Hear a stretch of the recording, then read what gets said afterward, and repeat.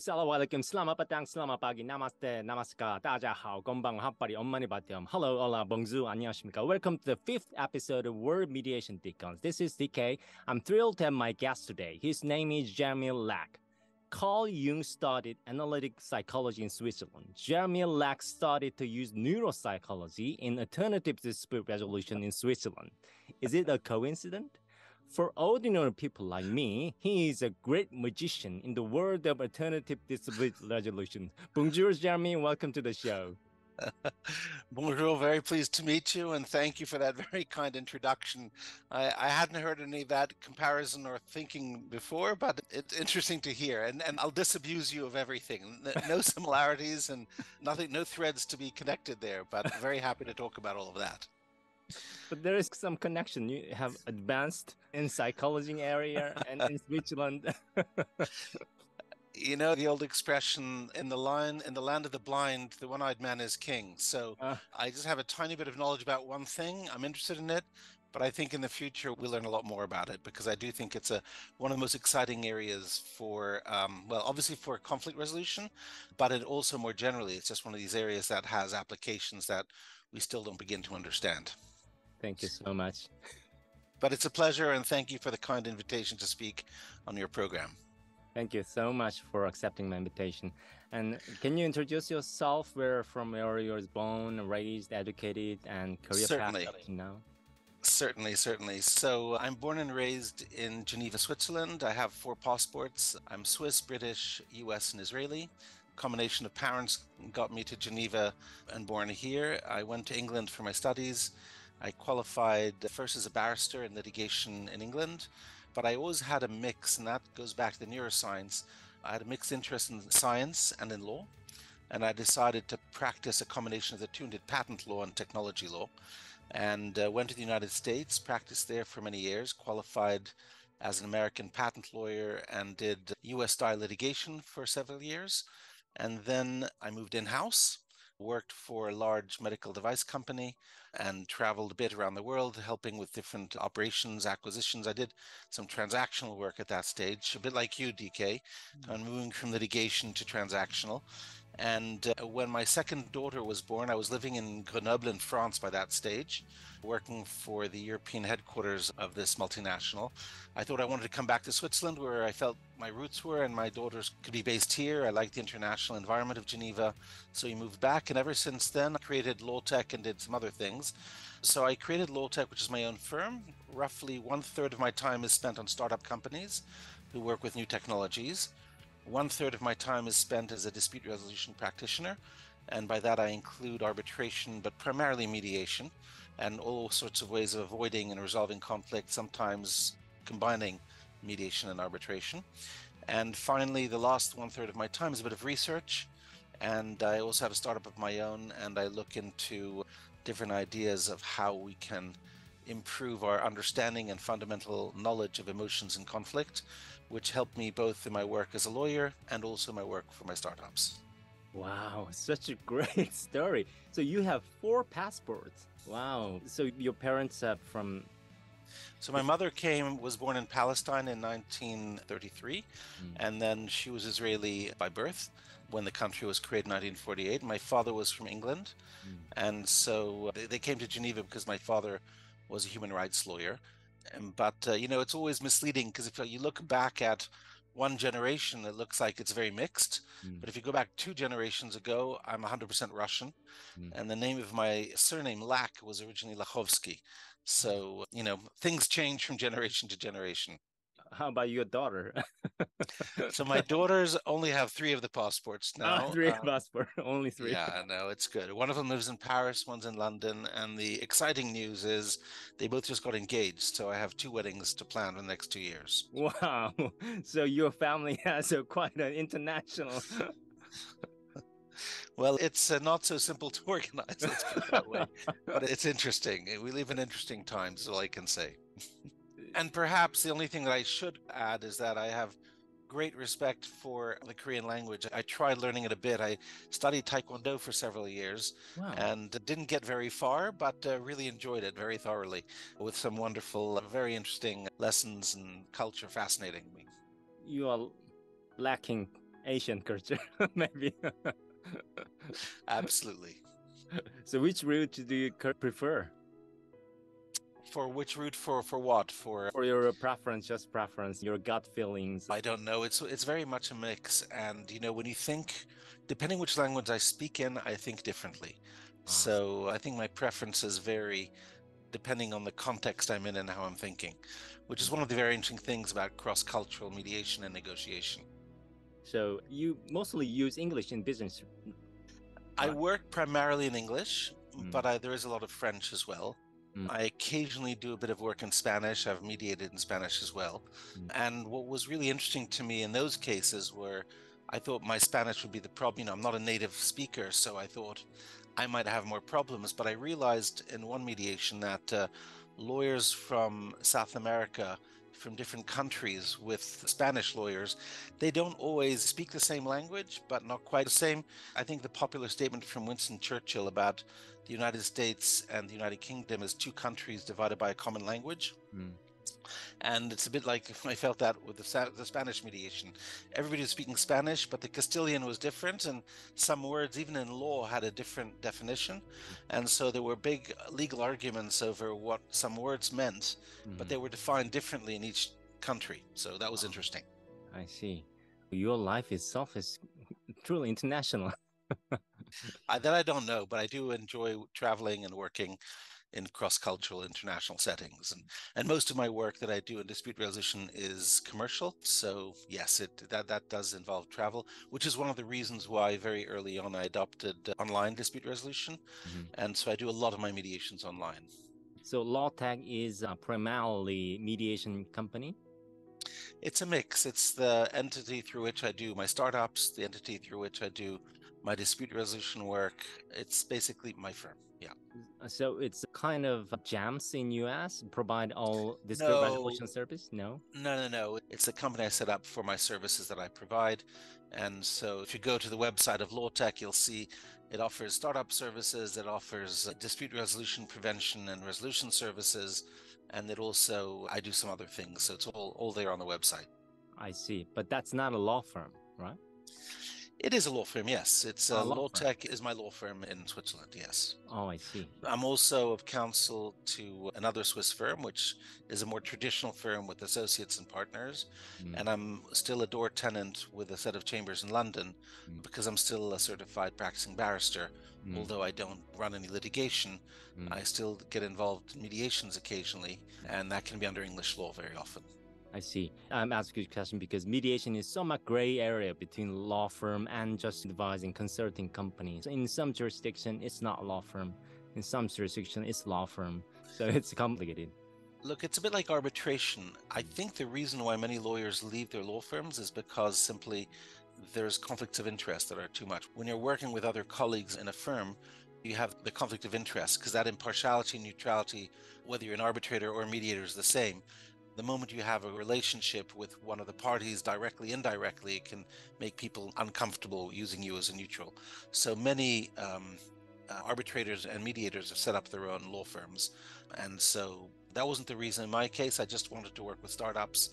I wanted to do an eclectic mix of things. No law firm, no no reasonable law firm would ever ex- accept a lawyer working with that mix of things. So I just found my way of doing it and been very happy ever since. I see. When I interview with Manon, I ask Manon, I will ask Jeremy to interview. And Manon asked me, why don't you ask AFIM? He's starting a new initiative and French speaking mediation association, something. so yes so uh, that?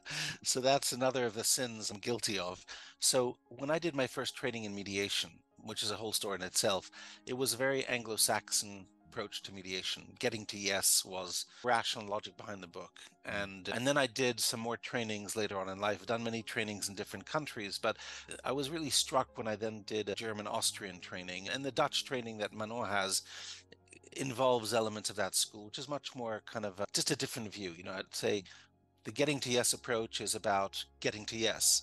The German or Austrian approach is much more about group dynamics and how to get people to reconnect and to be able to speak to one mm-hmm. another.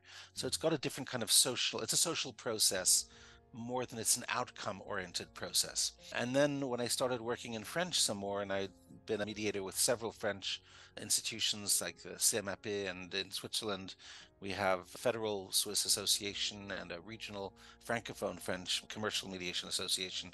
I started realizing that the Francophones had a third model, and it's more a Fiutak, Tom Fiutak's wheel with four different phases. It fits with Cartesian logic, and uh, it's basically all the Francophone mediation teaching programs tend to teach a model based on Fiutak's wheel. And that leads, though, to different concepts of mediation as a process. So it's not outcome driven, it's not relationship driven, it's about the process itself and focusing on the process and which stage of the process you're at.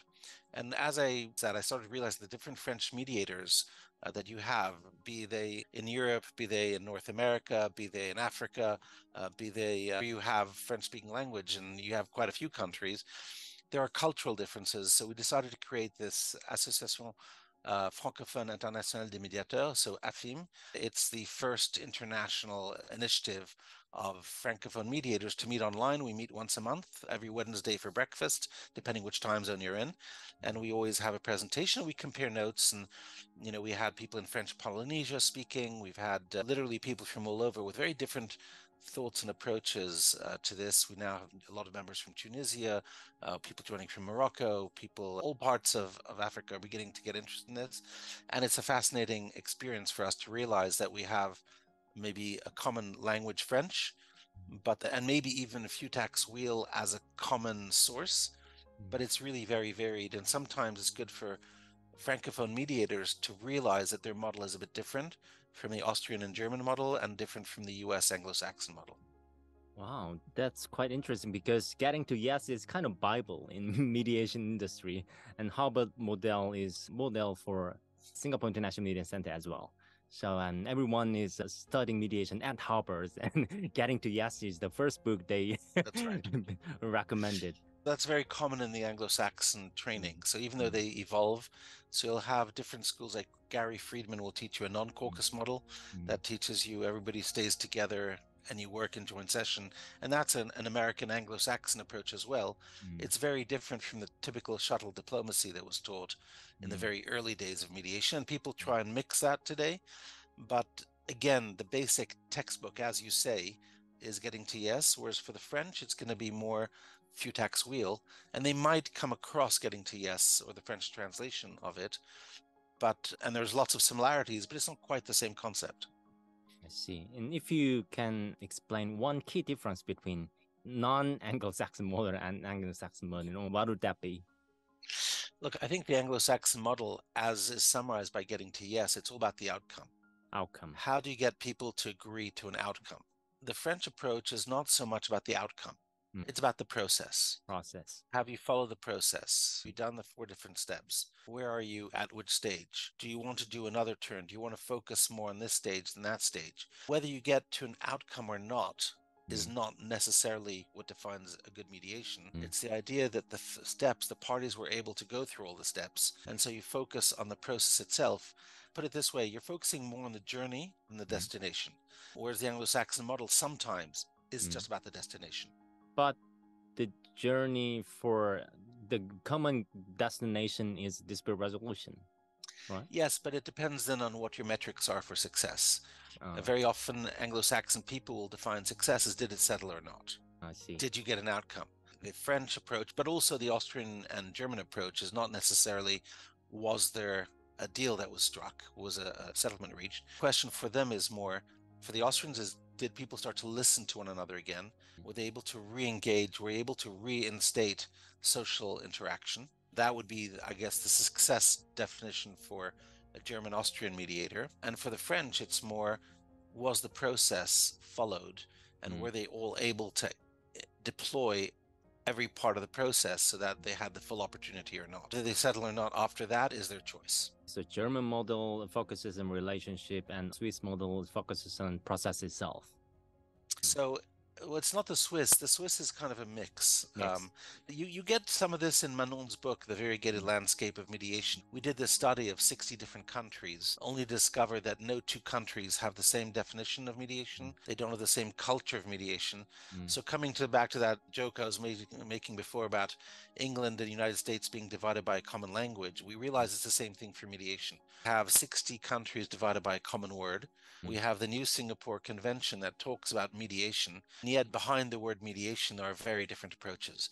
Mm. Some countries are pushing of an evaluative neutral, Mhm. who will, has to be a lawyer, for example, and is evaluative, and will make a mediator's proposal and say, "Here's my proposal," and if you don't accept the mediator's proposal, there can be sanctions.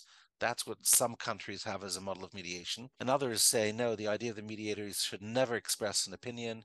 He Mm. should never be evaluative. They should just sit there and facilitate social interaction and Mm. help the parties focus on the quality of the communications between them. That's great uh, to learn because Korea is quite evaluative. Look, Uh, I'm not sure that's a Korean specialism because I, I think that when lawyers get more involved in mediation, it tends to become more evaluative. As lawyers, we're driven by outcome, we're driven by winning, losing, the legal syllogism, what are the facts, what are the law, what should the outcome be when you apply these norms, which are law and fact. And so when lawyers get more involved, Mm. you tend to unconsciously even be more evaluative. And I think maybe the Austrian German approach was much more family oriented, therapy oriented. Question originally about Jung and psychotherapy or psychoanalysis, it's not so much linked to what I do, but I do think some of the big differences Mm. of mediation being a social process is heavily in, influenced by the notion of social science and especially psychotherapy. Yes, I do think that that there are links in some of these things, but it's cultural and where how do we define culture and where does it start, where does it stop? It's about a group behavior and lawyers have a culture and non-lawyers have a different culture. I see. And well, one of the key thing I have learned from Toolkit Academy, one of your classes is omnipartiality. Before listening to your class, I think neutrality is the best norm. But after listening, no one can be neutral and omnipartiality. And wow, this is it. I'm very surprised. And but for someone who don't know about omnipartiality, can you explain the key difference from omnipartiality Yeah. and neutrality? Certainly, and and again, this is just my my approach to the topic, and another mediator will have a different one. That's where we are at currently in the profession. We all have our own definitions, we all have our own understandings, mm. and they can vary a lot. But my understanding is, first of all, the three principles for mediation: mediator has to be independent, he has to be impartial, and he has to be neutral. Mm. Okay, so what do those three words mean? Okay, independent means you don't depend on the parties for any one outcome. You're not dependent on them. The notion of neutrality for me is also neutrality as to the outcome. Do they settle? Do they not settle? For me that's where the neutrality comes in. You know it's the idea that whether they settle if they don't settle it's in favor of one party the other party at the end of the day you're neutral in terms of the outcome it doesn't affect you partiality is a much more con- difficult concept. What does partial mean? It means you're leaning more to one side than on, than to the other. And my understanding of the human brain is such that we are always uh, trying, especially when trying to work as mediators, we're trying to connect with the other side. We're trying to, we're in fact trying to be partial every time. If we want to be in a situation where we can empathize with a person and feel their feelings, we can't talk about impartiality. We're very partial to them at that moment. The point is, though, we need to be equally partial to everybody so that if we're going to be empathizing, we're going to have to empathize with both parties and equally. Now, is that possible or not? Technically, I'm not sure how we can measure this objectively. But the idea of omnipartiality is to say, don't pretend that you're not partial, just be equally partial with everybody. And so the idea is that when you go into a caucus, if you're going to have a very emotional conversation with somebody, you really want to engage with them. Do you have you lost? Well, I don't think it's affected your neutrality in terms of the outcome. It might have. They might spill into one another. It doesn't affect your independence in terms of your ability to operate, but it might affect your partiality vis-a-vis the other party. If you've had an intense caucus with one party only, and mm-hmm. they've bared their emotions to you and you've had a really cathartic moment with them, understanding what makes them go, but the other side never provides you with that opportunity, then you might have a partiality there. And so for me, what's really important is to make sure there's equal partiality from that point of view. And I and that is referred to as omni-partiality, equal but everywhere. Does I hope that answers the question for you. Yes, yes, equal to everyone, right? And absolutely. And compassion is kind of a brain activity, not through sensory system, but our brain feels compassion, and I think, and as a mediator, while doing that omnipartiality, omni-compassion, and by caucusing each other and caucusing spending too much time, then your compassion goes to compassion fatigue area because judge or arbitrator never give any compassion, right? They need to be objective and they need to be rational or logical, but mediator need to have compassion to both parties equally. And I think there should be some kind of fatigue generated by compassion. So, so it's very interesting that you use the word compassion for that. And actually, when you look at neuroscience, we have to separate between empathy and compassion. Mm. They're not the same thing. Mm. And the areas of the brain that are activated are different. Mm. So when you are in empathy, you are trying to get to a state where you can feel another person's emotions. You're literally in their shoes you can understand their perspective of the world, but more than understanding it, you can also feel it. Mm-hmm. And so many mediation courses in parts of the world will spend, you know, even three, four, five days on training you in your skills to be in empathy. And how do you become empathetic? How do you create that response, that mirroring that you can get between two people where you really understand what the other person is feeling and not just what they are saying? On the other hand, compassion is very different because with empathy, you do get mm. that spiraling and that fatigue you referred to. It's very difficult to go and work every day and be with people in empathy, especially when they're telling you exactly the opposite from one another. You know, they hate one another, there's anger between them, and you're trying to be in empathy with both, and it can get very confusing, and it can very easily lead, lead to burnout and a form of emotional fatigue if you do that. And also, you can spiral negatively if you are with a person who's depressed and everything is terrible and sad for them, then it is possible that that will affect you as well. And so you need to kind of accept the fact that you can spiral negatively as well. And then it's very difficult to go back to positive state of mind if you've been empathizing in that way. So what do you do? Some people will say, well, never get into empathy. Remain factual, remain objective. Do not get caught in the empathy sinkhole that can suck you down and draw you into something. And so some people really like to separate emotion from what they believe is factual and objective. But frankly, there's a lot of subconscious activity going on. Mm. And so it's very difficult to be objective, I believe, ever. Mm. Compassion, though, is different. We've seen there's a study, and if you want, uh, there's a little video on the topic by Professor Olga Klimecki, who goes and explains really different parts of the brain that are involved with compassion and with empathy. So, in empathy, you want to feel the other person's emotions. With compassion, you simply want the person well. And so, if you think of all forms of meditation, like a Tibetan loving kindness meditation, for example, you can wish a person well, knowing that that is not you and being motivated by the well-being for another person is easier mm-hmm. especially if you're motivated equally for that well-being for both parties. So being in a state of compassion in a way is healthier because it avoids the negative spiraling it's been found scientifically than empathy. So it's very easy to be in compassion constantly without having that fatigue or that tiredness you're talking about because it's a different state of mind so I think all these courses that are training about empathy might want to do more training on compassion as opposed to empathy and mm. understanding the difference between the two because it's a very important distinction. Partially, I couldn't understand because without having empathy, have compassion with both party. Is it possible?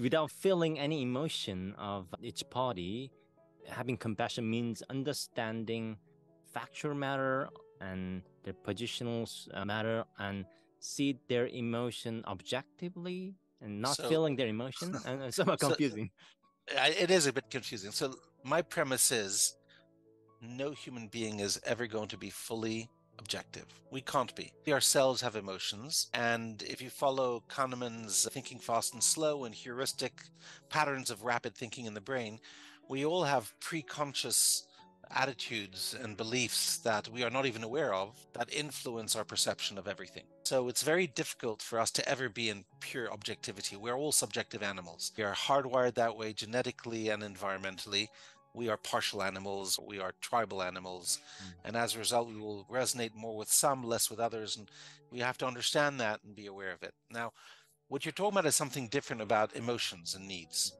If you look at the teachings of Rosenberg, Marshall Rosenberg for nonviolent communication, he was a great believer that emotions are very useful in conflict because an emotion reflects an unmet need. The stronger the emotion, the stronger the unmet need. So his approach to looking at emotions was as a diagnostic tool in a objective way in a way you can see a person is very angry a person is very sad a person is overly happy there's something going on linked to needs and interests that is worth exploring mm. and so they are gateways mm. to a conversation mm. about emotion so you can really identify the emotion linked to the need. So they're very helpful, but it doesn't necessarily mean you need to be in that same state of mind. Just because the other person is sad doesn't mean I need to be sad to understand them. I see. And the idea of compassion is I wish them well. It doesn't necessarily mean that I have to be sad myself.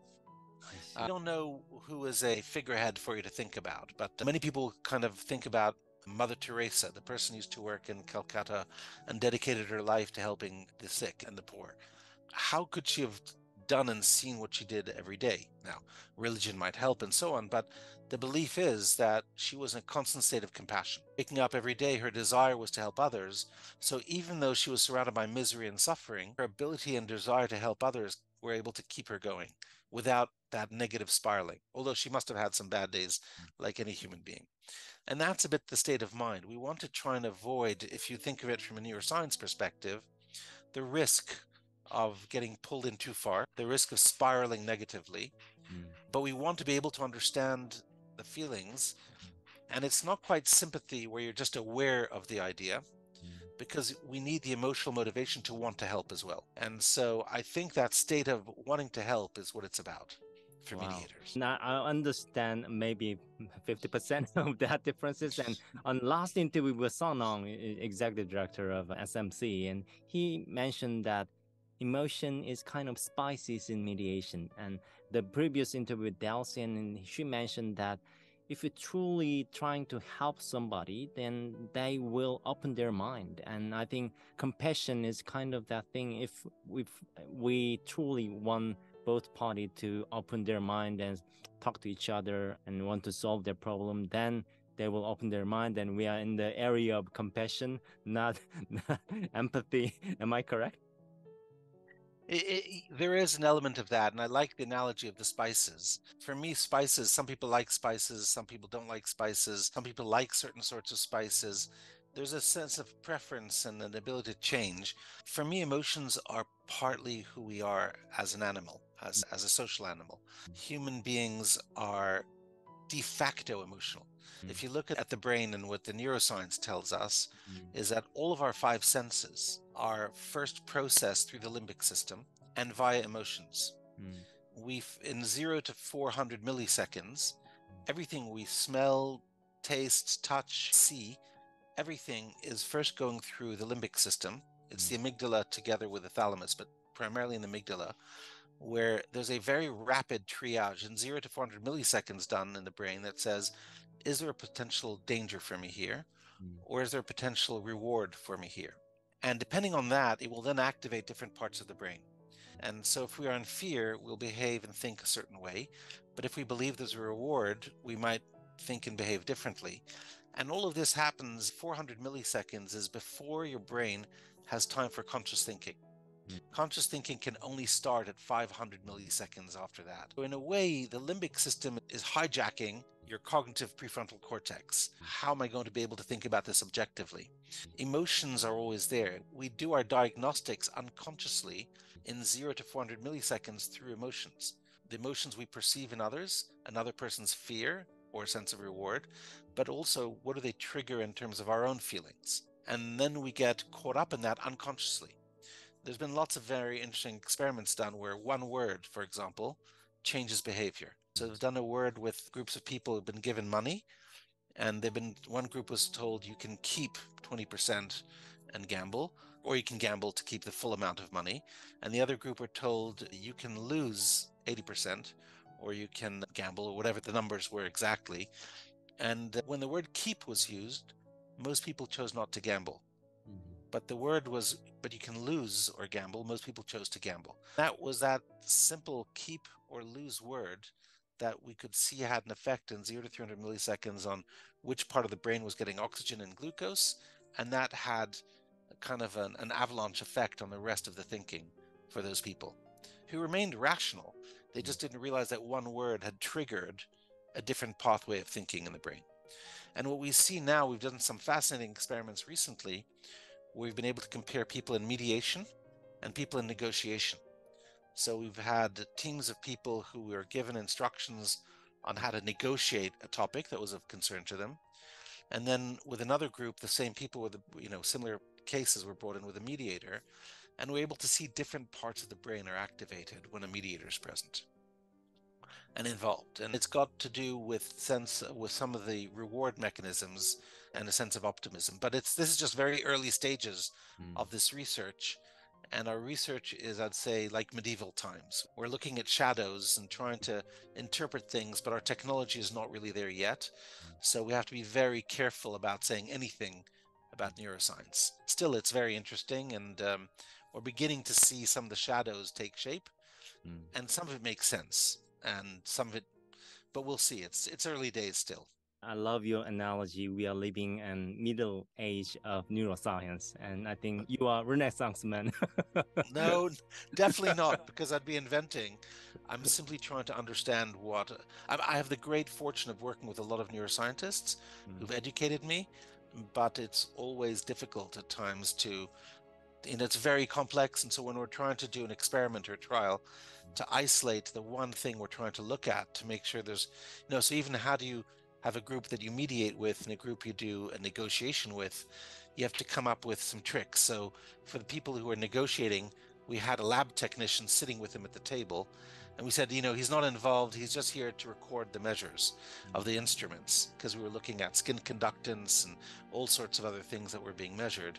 And so the excuse for a person sitting at the table with them was he's the lab technician. But it makes a difference if it's actually the mediator who's engaging. And so it wasn't the presence or absence of the third person making the difference. It was really the role they were taking as sitting there passively observing a conversation or a person who was helping people to focus in their discussions on their needs and interests and the solutions for them.